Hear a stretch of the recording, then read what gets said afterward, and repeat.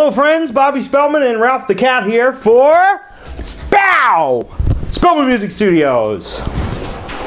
Quick announcement, if you or someone you know is interested in lessons in trumpet, trombone, French horn, baritone horn, slide trumpet for some reason, any of the saxophones, flutes, clarinets, or improvisation theory or composition, we're still, we've got some openings still for the fall, so send us an email or find us through the website and we'll be in touch. All right, today I'd like to take a little time to talk some more about slides. Now as you can see the trumpet has three movable slides. The tuning slide discussed in an earlier video, the third valve slide attached to the third valve, and the first valve slide controlling the intonation of the first valve. Now you might notice that I'm using my backup trumpet because my old Martin Committee's from 1945 and does not have a first valve slide.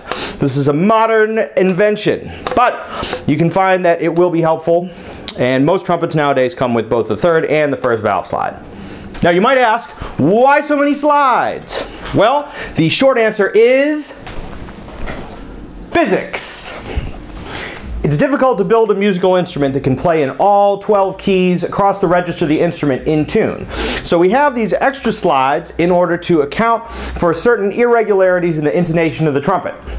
In order to demonstrate this, let's take out the tuner. That's a tuner, bro! Now you notice that on a C or a concert B flat, the trumpet is right in tune. However, if we follow the C sharp scale down to the low C sharp,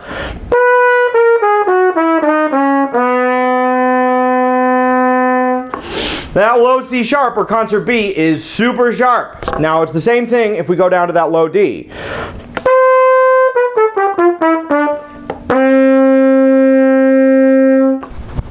On all trumpets, the tendency is for that low C sharp and the low D to be out of tune. Once again, because of physics. In order to stay in tune with yourself and with an ensemble, you're going to want to kick that third valve slide out anytime you go down to the low C sharp or the low D. Now, it tends to be that your C sharp is going to be pretty far out and the D is only going to be a little farther out. But it really depends not only on the trumpet, but the combination of the trumpet and the mouthpiece that you're playing. So you may want to sit down with a tuner and experiment with how far out those slides need to be in order to get the intonation just right on the low C sharp and the low D. Let me demonstrate.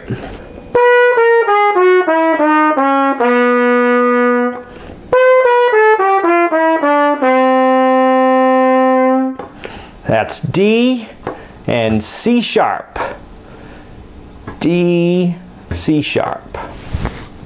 One way I like to practice using the third valve slide is to run through some of the scales and modes that incorporate both that low C sharp and the low D. The first one I recommend is often the A major scale starting on low A, but you can also do the B minor scale or any of the other scales that incorporate some of those notes to get a handle on kicking that third valve slide every time you go down to the C sharp or the D.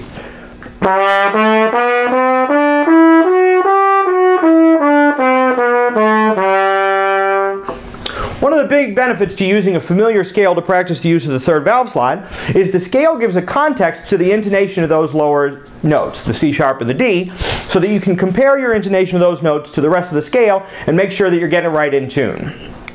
The goal over time is to make all of that second nature. So anytime you're playing the low D or the low C sharp, it's just second nature to kick that third slide out and get everything right in tune. That way, if you're playing a piece or if you're improvising, you don't have to think about it. It just becomes another mechanism as a part of the trumpet.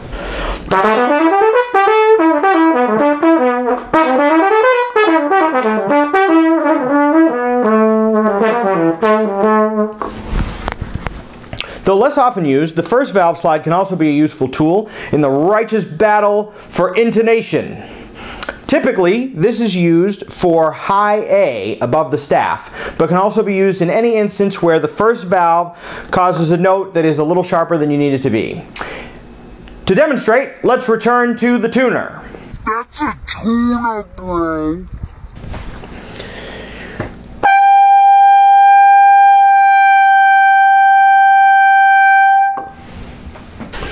I'm able to knock that A right back into tune just by pulling out that first valve slide.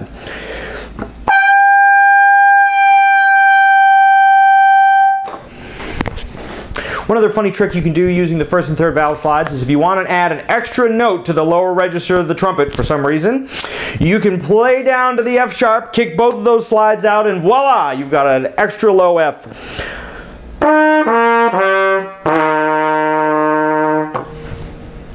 Also essential if for some reason you want to do this.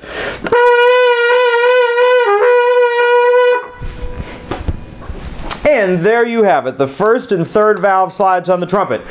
Really get used to using them, practice those scales, get it so that it's automatic, so that all of your friends in the ensemble will rejoice at the perfect intonation that you have on your low Ds and C sharps and up to your high As and with any other note that may be sharp on the instrument.